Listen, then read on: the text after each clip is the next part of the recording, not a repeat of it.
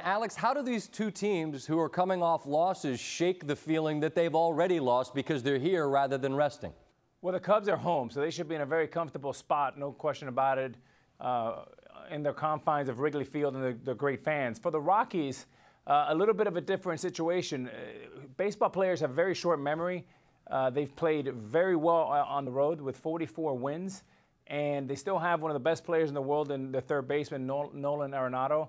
So it's just a matter of getting there. The good news is you play right away, get on that flight, and um, before you know, you're teeing off again about uh, 8:05. I get that, but I also get that on Sunday the Rockies were in Denver. On Monday they're in Los Angeles. On Tuesday they're in Chicago. I just I wonder how do you combat what that is? Just you're human being. How do you deal with that? They've been playing very well, Scott. They're, they've won nine out of the last 11.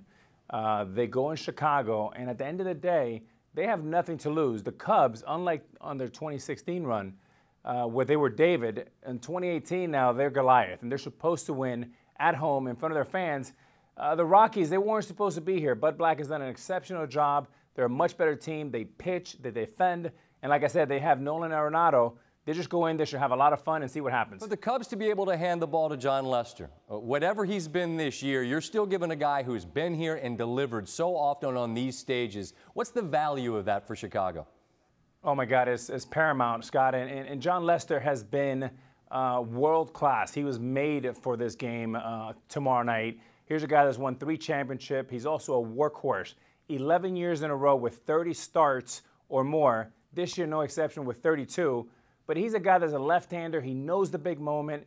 And when you think about Theo Epstein and the move of bringing him here, six years for 155 million, he's been worth 255 minimum to that franchise. Last quick thought. One of these teams is going to live to, to play another day. Does either feel more equipped to make a dangerous and lengthy run?